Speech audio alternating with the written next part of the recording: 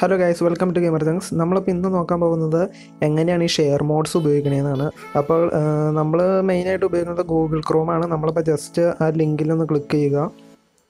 Google Chrome automatically റിഡയറക്റ്റ് ചെയ്ത് share മോഡ്സിൽ പോകും. അതിനുശേഷം നിങ്ങൾ സ്ക്രോൾ ചെയ്ത് താഴേക്ക് വന്നു കഴിയുമ്പോൾ കൺഫോം ഡൗൺലോഡ് ഉണ്ട്. അത് കൊടുക്കുക.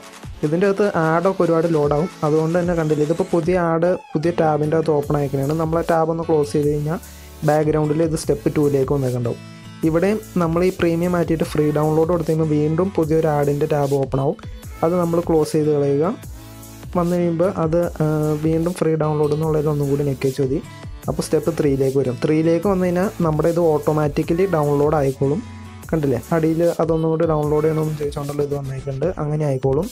അതല്ലാന്നുണ്ടെങ്കിൽ ഇവിടെ ഈ your download will begin few seconds എന്നുള്ളതിന്റെ അടിയിലായിട്ട് ഇങ്ങനൊരു ടെക്സ്റ്റ് കൊടുത്തേക്കുന്നുണ്ട്. അപ്പോൾ അതിന്റെ അകത്ത് ക്ലിക്ക് ചെയ്ത് കഴിയുമ്പോൾ കണ്ടില്ലേ? അതൊന്നും കൂടി ഡൗൺലോഡ് ആയിക്കോളും. അപ്പോൾ ഷെയർ മോഡ്സ് ഉപയോഗിക്കുമ്പോൾ മെയിനായിട്ട് വന്ന പ്രശ്നം എന്ന് പറഞ്ഞു കഴിഞ്ഞാൽ ഈ രണ്ട് ലിങ്കിന്റെ അകത്ത് വന്ന ആഡിന്റെ കേസാണ് അതപ്പോൾ നമ്മൾ പുതിയ ടാബ് ഓപ്പൺ ആയിട്ടാണ് ഈ ആഡ് മിക്കവാറും വന്നുകൊണ്ടിരിക്കുന്നത്. കൺഫേം കൊടുത്തു കഴിയുമ്പോൾ നിങ്ങൾക്ക് കാണാം. കണ്ടു? മൂന്നാമത്തെ ടാബായിട്ട് അത് ഓപ്പൺ ചെയ്തു. അപ്പോൾ നമ്മൾ ആ ടാബ് ജസ്റ്റ് ഒന്ന് ക്ലോസ് ചെയ്ത് കളഞ്ഞേച്ച് മതി.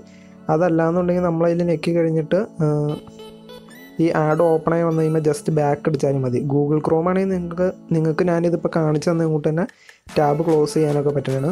അപ്പോൾ നിങ്ങൾ ഇതേ ഷെയർ മോഡിന്റെ അത് ചെയ്തിച്ചു മതി. അതായത് പുതുതായിട്ട് ഓപ്പൺ ആയി വന്ന ആഡൊക്കെ ക്ലോസ് ചെയ്ത് തുടങ്ങി മതി